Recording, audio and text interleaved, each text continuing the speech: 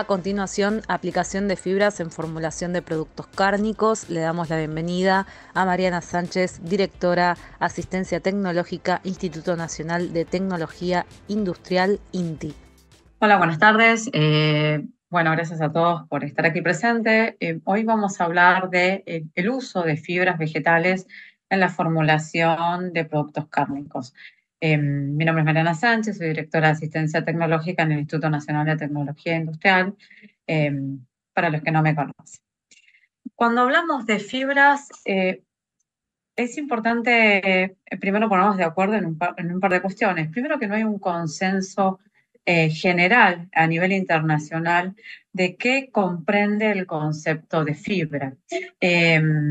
Hay diferencias en la legislación eh, en distintos países eh, eh, en qué abarca.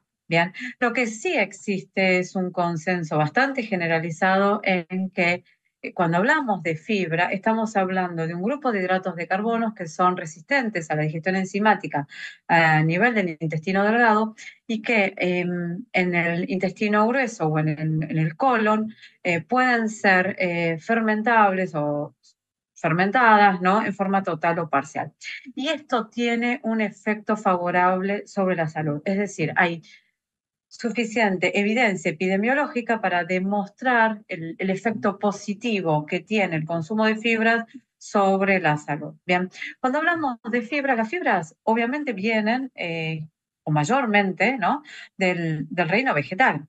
Estamos hablando de macromoléculas que forman parte de la pared celular de vegetales. Ahí vemos un gráfico donde vemos unos tubitos en color verde que son, eh, que representan a la celulosa. Bien, y después vemos otras, ¿no? Eh, vemos ahí algunas eh, cadenas de pectina, de micelulosa, y vemos unos tubitos transversales que son eh, las proteínas. Eso podría representar una, la pared de una célula. Lo interesante es que cuando nosotros vemos la composición de la celulosa de distintos vegetales, la composición es muy similar. Bien. Ahora, el resto de los componentes, la fracción de micelulosa, las pectinas, incluso las proteínas ahí presentes, varía. Bien. Por eso la fibra que se obtiene de distintos vegetales eh, y, de, productos con distinto grado de madurez va a ser distinta. Em, algo interesante que vemos en este gráfico es que nosotros vemos las cadenas de los, polisacáridos, pero unida a proteínas algunas proteínas forman parte estructural de la pared celular. Estas proteínas que forman parte de la pared celular quedan dosadas como fibra. Bien, eh, lo mismo si hubiera algunos eh, compuestos fenólicos. Em, otra, otra cosa a destacar es que cuando hablamos de fibra, hablamos de una fracción proveniente de eh, partes comestibles de vegetales, es decir, no es componentes de vegetales que no son comestibles, tiene que ser comestible. Pero ¿para qué vamos a usar una fibra en un producto cárnico? Bueno, la vamos a usar para reducir grasas.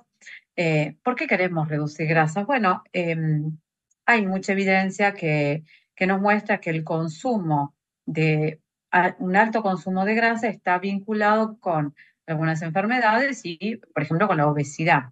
Sin embargo, la grasa cumple un rol eh, súper eh, importante en un producto cárnico porque le confiere sabor, le confiere el aspecto, le confiere, es parte de, eh, de la experiencia de consumo, ¿no? La sensación en boca. Entonces, reducir la grasa, si bien está muy bien desde el punto de vista la mirada en salud, pero tenemos que reducir la grasa sin desmejorar la experiencia de consumo. Entonces, bueno, eh, una de las funciones que tienen las fibras es que pueden eh, emular eh, el comportamiento de la grasa en un producto cárnico.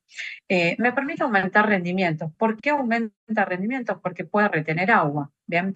Agua que puedo estar agregando por una cuestión de volumen, ¿no? Generan eh, como estructuras dentro del alimento donde queda retenida el agua.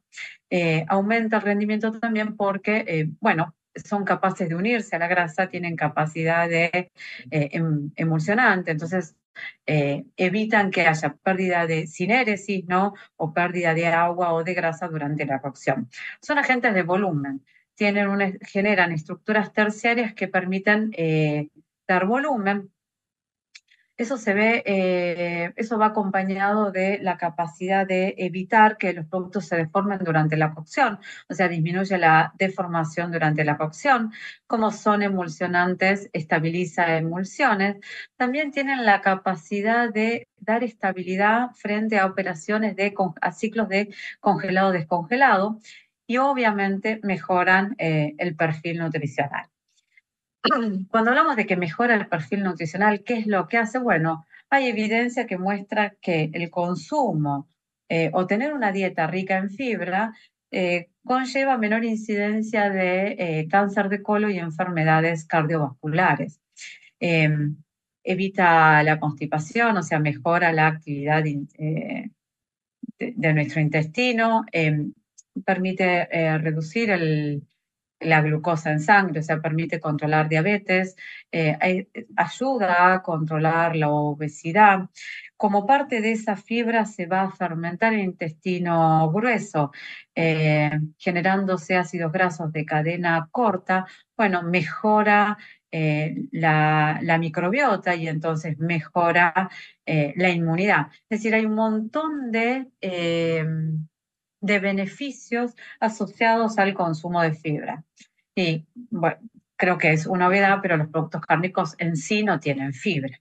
Bien, entonces el agregar una fibra a un producto cárnico, por un lado me va a permitir reducir grasa, pero por otra parte tiene un beneficio al, al tener todas estas funciones, ¿no? O sea, yo agrego la fibra bajo el contenido de grasa, bajo el contenido de grasa saturada, pero además estoy incorporando un ingrediente que tiene un montón de beneficios eh, nutricionales. Muchos de esos beneficios están asociados, esas propiedades funcionales, o tanto a nivel eh, tecnológico como a nivel de salud, van a estar eh, vinculadas ¿no? con, con algunas características, como por ejemplo con el tamaño de la partícula. Si es una partícula de fibra que va a ser más grande, va a ocupar más tiempo, en, el sistema digestivo, me va a dar, por ejemplo, mayor saciedad, va a evitar, eh, al aumentar la viscosidad, por ejemplo, va a aumentar el contacto de eh, las enzimas digestivas. Entonces, el tamaño de la partícula, las características que tiene esa partícula, em, por ejemplo, en la superficie de la partícula tiene poros o no tiene poros, qué capacidad tiene de hidratarse, se hidrata rápido, cuánta cantidad de agua va a tomar. Eso va a estar relacionado con el rendimiento, la capacidad de hidratarse, la capacidad de retener agua, la capacidad de eh, hincharse o la capacidad de emulsionar. Em, eso me va a afectar el rendimiento, pero también me va a afectar la sensación en boca. Cuando yo agrego una fibra y esa fibra me retiene agua, cuando yo consumo un alimento lo voy a sentir eh, más húmedo. Bien, y eso puede ser eh, atractivo. Imaginemos que nosotros agregamos en una salmuera eh, a una pechuga de pollo o a una porción de carne de cerdo que son muy secas, agrego una salmuera donde incluyo una fibra, esa fibra me va a mejorar la experiencia, ¿no? O sea, va a hacer que esos cortes que normalmente son secos sean más jugosos, ¿bien? Bueno, también tienen capacidad de formar gel, eh, capacidad de absorber compuestos orgánicos. Por eso es que esa, esa propiedad de absorber compuestos orgánicos está vinculado con em, la reducción, por ejemplo, del colesterol, ¿no? O, em, sí. Eh, pueden ser fermentados y el hecho de ser fermentados dijimos que eh, favorecen el desarrollo de la microbiota, la formación de ácidos grasos de cadena corta, que tienen muchísimos beneficios eh, para la salud. Las fibras normalmente se van a clasificar, hay muchas maneras de clasificarla. Uno es en función del grado de hidratación. ¿Se solubilizan o no se solubilizan? Es como una gran división. Están las que son solubles y las que son insolubles. Em, las que son insolubles normalmente son las que em, son insolubles y muchas veces son las que no se fermentan y son las que aumentan ¿no? Em, la materia fecal, el, el volumen de la materia fecal. Em, después, bueno, está el tema de grado de fermentación, si son fermentables o no, y la composición eh, y la clasificación en función de su composición química y grado de polimerización. Eh, cuando hablamos de composición química y grado de polimerización, bueno, lo que se distingue son los oligosacáridos, o sea, cadenas de polisacáridos de, baja cantidad de hidratos de carbono, bien, ahí es donde aparecen los azúcares simples como la rafinosa, estaquiosa, ¿no? Las polidextrosas entran en este grupo. Después tenemos los polisacáridos, todo lo que tiene más de eh, un grado de polinización superior a 9, y ahí se dividen en dos grandes grupos, los que son eh, homopolisacáridos, bien, normalmente es toda la familia de los almidones, también entran ahí la celulosa y los betaglucanos, y después tenemos los polisacáridos que son heteropolisacáridos, es decir, están unidos a otras, otras moléculas, ¿no? Metoxilos, por ejemplo. Eh, y ahí es una familia súper extensa donde vemos que encontramos la hemicelulosa, las pectinas, ¿no? el quitosano. Es una familia eh, bastante amplia y mm, con propiedades eh, bastante diferentes. Cuando hablamos de las propiedades funcionales, bueno, eh, algo que es interesante es que cuando nosotros hablamos de fibra, ¿no? Tal vez alguno ya ha escuchado o esté usando fibras en productos cárnicos y lo más común es, la fibra cítrica, ¿no? Lo que encontramos acá es fibra cítrica o fibra de trigo, em, fibra de bambú o ¿no? el, el. Pero la realidad es que a nivel mundial se están estudiando un montón de otras fibras provenientes de otras fuentes Em, algo que tal vez no, no, dije específicamente es que las fibras se obtienen de las frutas, de los vegetales, de los cereales, ¿bien? Eh, y normalmente están en la cáscara, ¿ok? Eh, bueno, acá en esta tabla lo que nos muestra es las propiedades funcionales de distintas em, fibras. Por ejemplo, fibra de naranja, una fibra cítrica obtenida de la cáscara, acá hay dos productos. Uno que es un, ingrediente elaborado con la cáscara, el bagazo y la semilla, ¿no? Y después ven en el renglón de abajo una fibra directamente de la cáscara de naranja.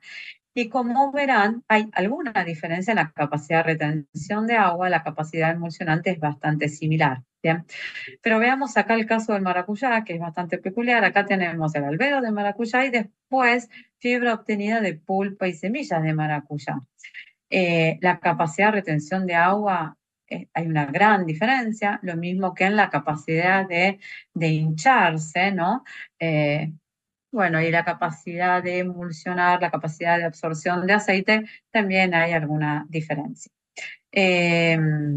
llamativo también en esta, en esta línea es el, el musgo, ¿no? Esta fibra de musgo eh, que tiene una altísima capacidad emulsionante y una altísima capacidad eh, de retención de agua. Bien. Las diferencias en las propiedades funcionales de las fibras, dijimos, estaban asociadas con el origen, o sea, de dónde había sido obtenido, con el grado de madurez que tenga esa, fruta, ese cereal, ese tubérculo, em, y con el método de obtención si fue una hidrólisis alcalina, si fue alcalina ácida, si hubo una, eh, hidrólisis enzimática. ¿Por qué? Porque se producen modificaciones en la composición de la fibra, incluso eh, algunos de estos procesos eh, pueden hacer que se modifique la proporción de fibra soluble e insoluble que naturalmente había en la, en la matriz original. Eh, ¿Dónde se está eh, estudiando el uso de fibras? Bueno, acá pueden ver que en una grandísima cantidad de productos. ¿Y qué fibras están utilizando? Bueno, acá pueden ver de cactus, de ananá, soja, inulina, eh, de trigo, avena, arroz.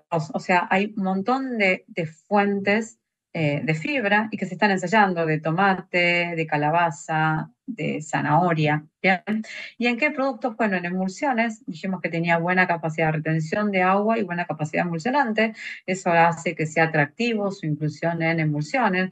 Además, como tienen esa capacidad de imitar la grasa, puedo hacer emulsiones con una reducción de grasa. Entonces, lo que vemos es en salchichas, en muchos salchichas, en, nuggets. la categoría salchichas, recordemos también que es una categoría que, em, por ejemplo, es muy consumida por los chicos, entonces entregar un producto con un mejor perfil de grasa siempre, bueno, es, bueno, es una manera de cuidar a nuestros, niños. Eh, y después lo que vemos son productos picados como la hamburguesa em, o las albóndigas. En estos productos, lo que el, el beneficio está dado durante la cocción, porque durante la cocción no se ovalan. Son las fibras, eh, ha demostrado que cuando uno cocina un producto que tiene fibra, bueno, hay menor merma, pero a su vez hay menor deformación y eso lo hace eh, sumamente atractivo. Eh, las dosis de uso, bueno, las dosis de uso varían muchísimo. Em, vemos, por ejemplo, la fibra de calabaza en un 2%, eh, la inulina en un 3,5%, en el caso de las soja, fibra de soja de ocara llega casi al 8%. Los valores eh, es, el, rango es muy amplio. Eh, acá veremos en unas salchichas bajas en grasa, uso de fibra cítrica en un 2%. En muchos casos, la limitación eh, puede que no esté por, o sea, obviamente es sensorial, ¿no? Es, ese contenido de fibra, por ejemplo, cítrica me da una nota amarga o una nota limonada.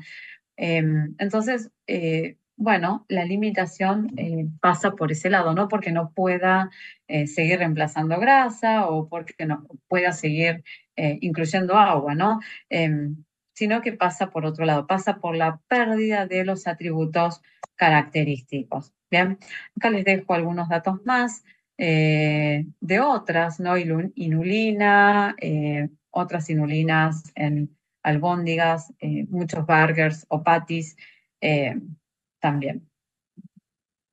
Entonces, eh, ¿cuáles son las... Eh, ¿Por qué incluir eh, algunas conclusiones? ¿no? ¿Por qué incluir una fibra? Bueno, una fibra nos va a permitir mejorar el perfil nutricional y eso no hay discusión. ¿Ok? en la inclusión de una fibra me mejora el perfil, dijimos por la reducción de grasa, pero a su vez por todo lo los beneficios que tiene la fibra en sí misma. Eh, me va a permitir mejorar la textura. Eh, ¿Por qué? Porque me aumenta la jugosidad. Eh, en algunos casos da geles que mejoran la mordida. Mejora los rendimientos, me permite retener agua, me permite retener grasa, me hace que, el, hace que el producto sea más estable a ciclos de congelación y descongelación. Eso también es eh, importante. La mala noticia es que las fibras no están en el Código Alimentario argentino para uso en productos cárnicos. la realidad es que nosotros creemos que esta modificación es una modificación necesaria, que sería interesante su inclusión para obtener productos de mejor perfil. Eh, y bueno, es necesario seguir haciendo investigación, desarrollo, eh, para generar información que sustente eh, su uso en, formulaciones. Bien, bueno, hasta acá mi presentación, espero que les haya gustado y bueno, quedo atenta a preguntas o consultas. Muchas gracias.